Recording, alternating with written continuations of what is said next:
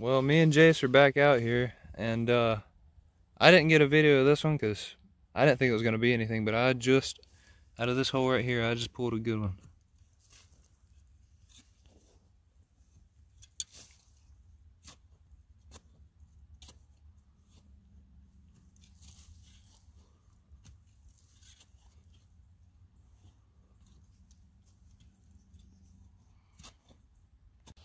So I'm still digging this hole out over here, and uh, Jace said he got one.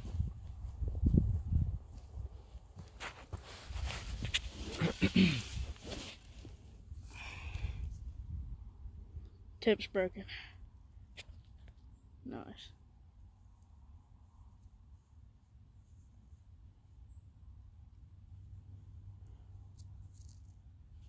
Alright, well hopefully we'll find something else before the sun goes down.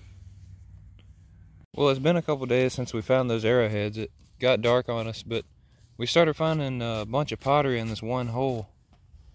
It might be a, a whole pot down here. We found four legs so far, and Jace just got another one. And I think there's another good piece in here. Yeah, I think so. Might be two pieces. All right, well, we'll show you what all we find whenever we get it all out.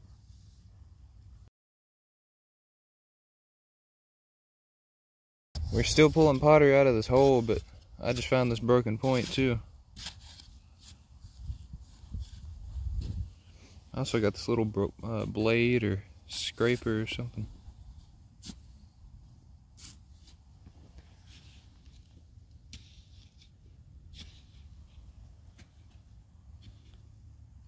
So me and Jace are about done with uh, digging out pottery over there, and he says he's got a good one down here.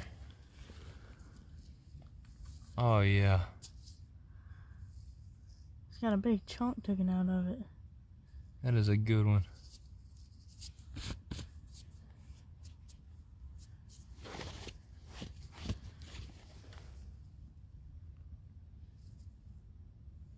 So thin.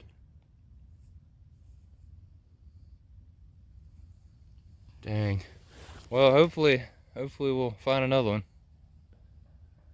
Once again, it's a couple days later, and we've only been here like 10 minutes, and I think I have my first point.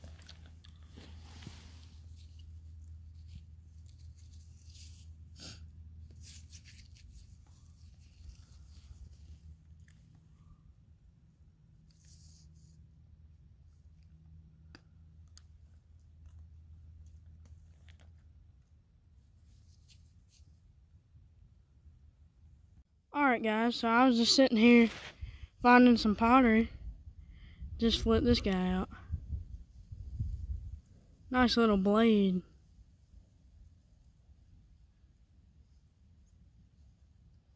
Here's some pottery I was finding. You can see it.